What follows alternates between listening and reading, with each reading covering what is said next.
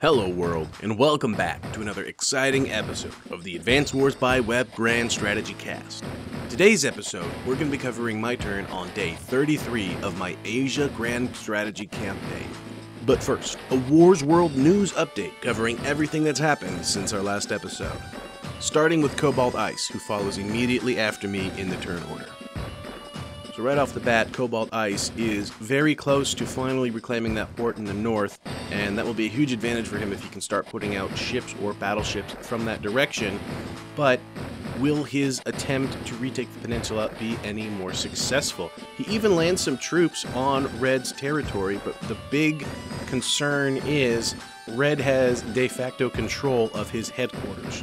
And at this rate, it's only a matter of time until Cobalt falls. Seeing this, Blue Moon is trying to make some territorial gains where he can. He's going to start capturing that island in the island chain. Now, that factory was not super important to Red, nor do I believe it will be super important to Blue Moon, but just taking that away from him gives a slight advantage to Blue Moon and takes it away, that especially that income, from Red. Now, Red deals a large amount of damage with his battleships, to Cobalt Ice here. And you can see, not only does he do a huge amount of damage, but he's got a full 10 health infantry on Cobalt's HQ that has started to capture. So that HQ only has 10 points remaining on it. Same with that property and that mech along the coast there.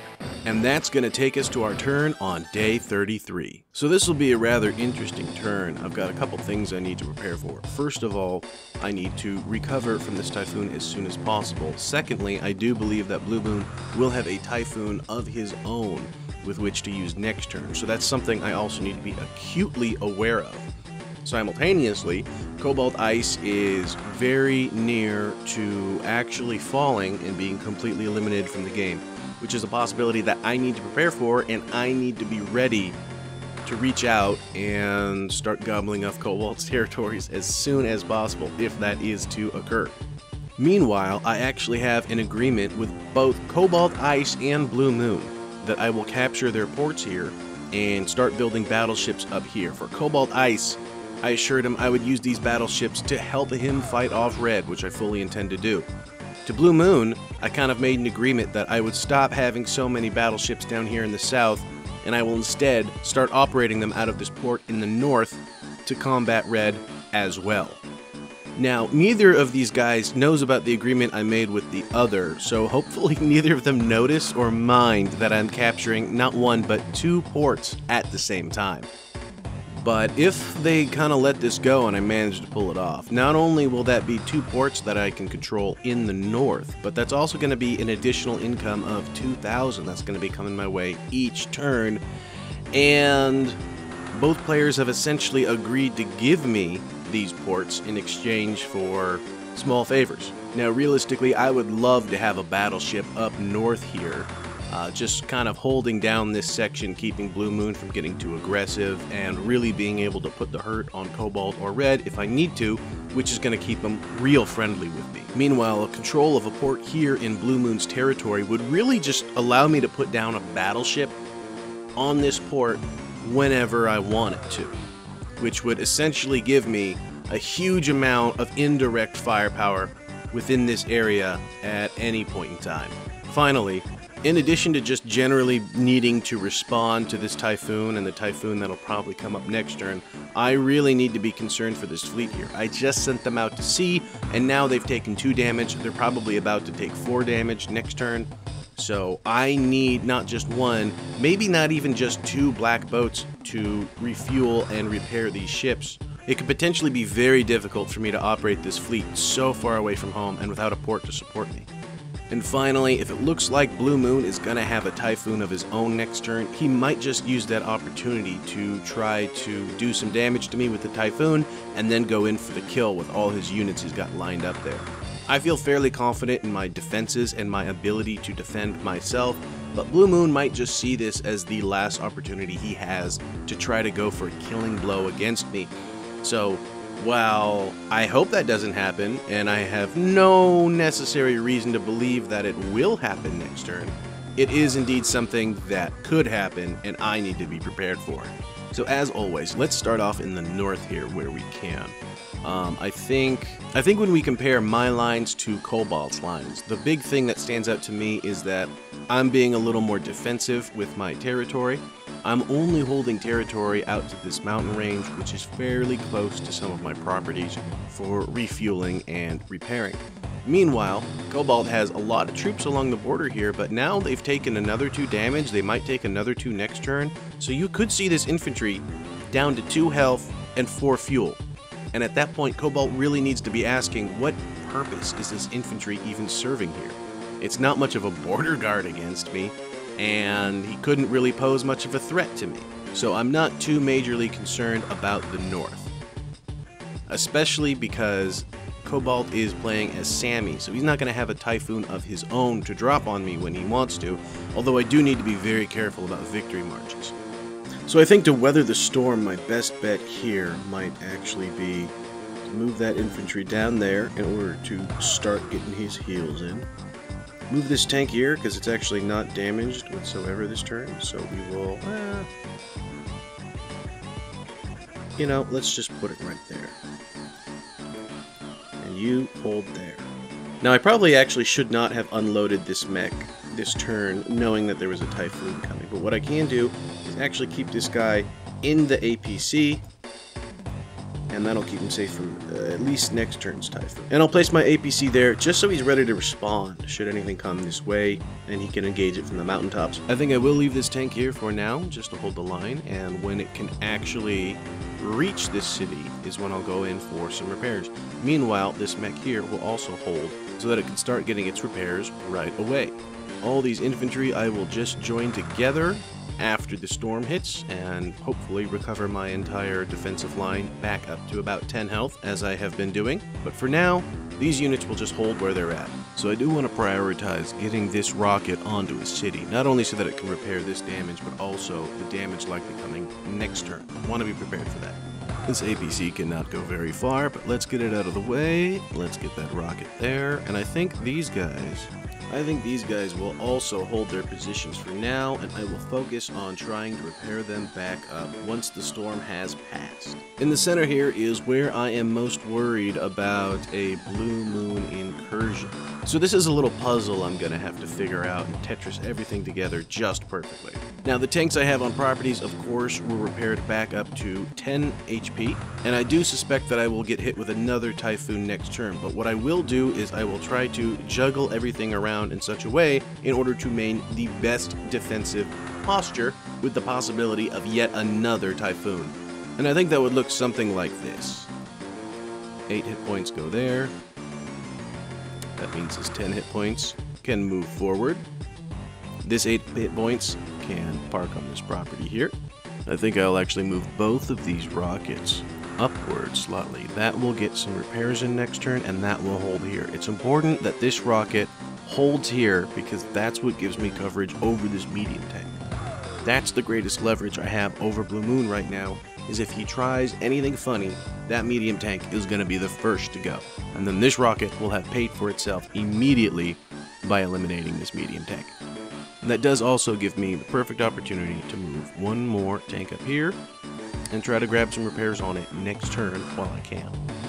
Now it might be best to just get this infantry up to the front as soon as possible, but I think I'll actually delay a little bit so that I can grab a turn of heals off of this property at the start of my next turn, and then this guy will do the same if he gets hit by a Typhoon as well. This mech here will of course wait, and we'll just keep on waiting until this guy is finally repaired and back in the fight. And of course, these mechs get battered by Typhoons before they can even do anything, but such is life, so I will move them back as I had planned to gather some repairs on these properties before moving back forward and if I can keep two layers of mechs at all times, then I can actually cycle them out with each other as necessary. And what I can actually do, since I am at 99 out of 100 unit cap, is I can move this tank here, and then I've got a nice battery, three tanks deep, that I can just launch right into blue should I need to, but that also allows me to move this tank right here for some more repairs, and then, because I have so many damn units right now, I can actually move things up and together That'll put it back at 10. It will probably get hit by another Typhoon next turn, but I just want to make this very unenticing for Blue Moon to attack. From here, I will continue my infantry advance. And then I can continue the infantry advance up along this way. Just like this. Then I can hold that there with a mech.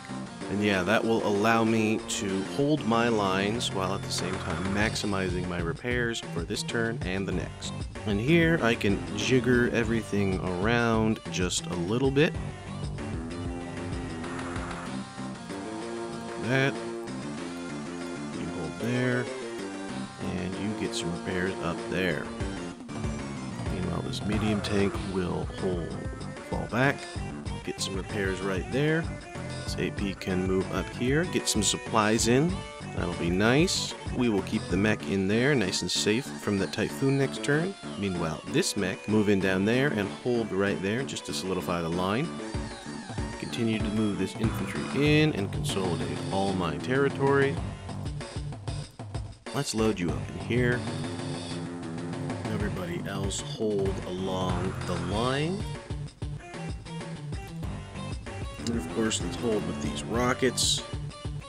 Now, like I said, even with the rain, this rocket can reach this property fairly easily.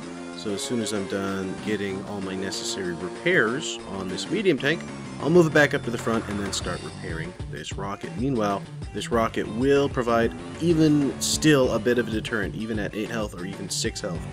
Um, it will still be unpleasant for Blue Moon to want to charge through that so for now, they will also hold.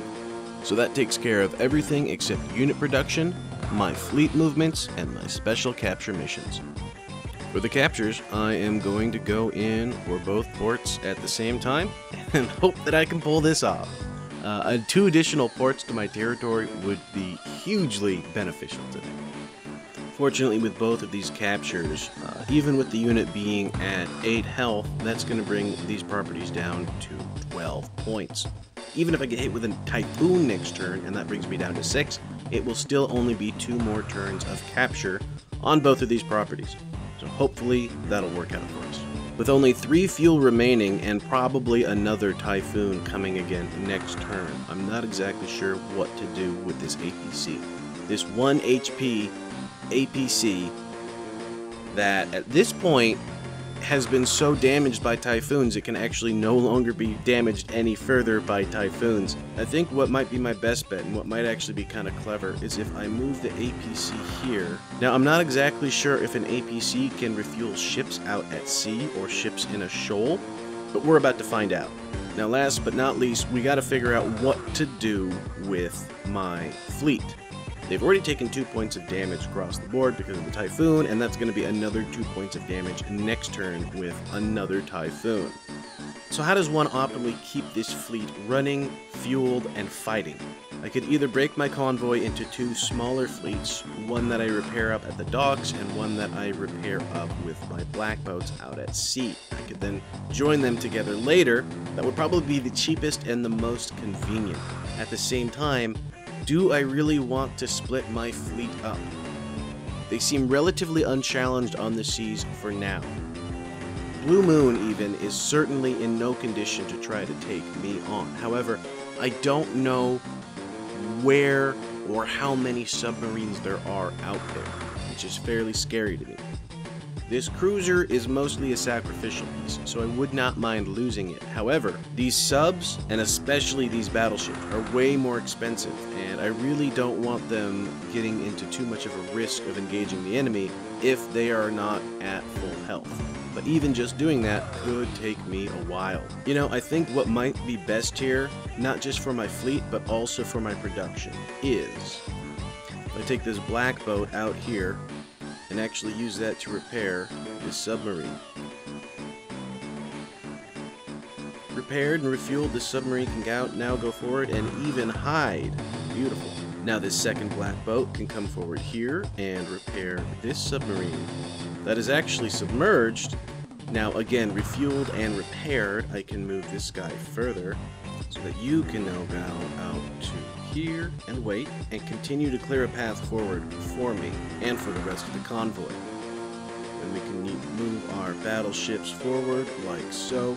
And as I'm actually at 98 out of 100 population cap at the moment, I will use my last two population spots for two more black boats for this fleet.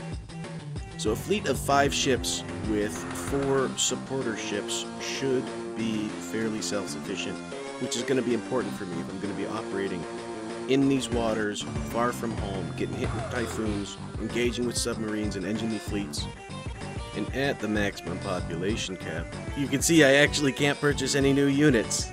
So now I just need to focus on repairing my units, keeping them at maximum hit points, and upgrading my units to better versions over time while still remaining within that 100 population cap. And I will continue to hold my cruiser here as a bit of a guard against any sort of Blue Moon tomfoolery uh, on my convoy. Now, I would say holding this infantry on this port is actually a poor move on Blue Moon's part, he doesn't get any sort of advantage by actually holding infantry on this port. Yes, it does mean that an enemy couldn't send like a lander or a black boat with an infantry and unload that infantry onto this port, but that's not something that's really been happening. You know, there's there's been no threat of blue losing this island this entire match. Meanwhile, this infantry standing on this property tells me that he does not have a submarine here constantly refueling. And here's a little thing for you if you didn't know this. If you have a submarine on a port, you can hide it so that the enemy cannot see it. It will be submerged, so they won't see it, they won't know where it is. Meanwhile, because it's sitting on a port, it's constantly refueling every single turn. So in reality, you have a submarine submerged in your port area, and it looks to your opponent like nothing is there, Meanwhile, you actually have a hidden submarine that is constantly repairing and constantly refueling. So something like that could actually make for a fairly nasty surprise to your opponent if they're not actually expecting you to have a submarine on this property. Well, then he could just come out and do a lot of damage to me, especially if I wasn't being so careful about it. But because he has this infantry on this property, I know that of course he does not have a submerged sub hidden there. So I I feel a little bit more comfortable going on by this island because I know there is no sub here. Now that's not to say that there aren't submarines elsewhere in this area and I might just run into a few of them, but I really wanted to give myself the best chances so I left a cruiser here to sort of guard the convoy and I just know that my opponent does not have a submerged sub waiting for me. Okay, and with everything out of the way, everything taken care of, and no more room left to build, I shall end my turn. So thank you for joining us for another exciting episode of the Advanced Wars by Web Grand Strategy Cast. If you're a returning subscriber, thank you so much for coming back and following along with us. If you are a first-time watcher, well, I really hope you enjoyed it. Thanks for checking it out. And if you liked it, maybe even consider subscribing so you can see a little bit more of this stuff. And you know, like the video, leave a comment, blah, blah, blah. You know the drill. It really helps us out. But thank you so much for that. And hey, maybe check out some of these recommended videos, some of this other stuff that I made. It might just be your can of soup. Alright, thank you for joining us, and I'll see you in the next one.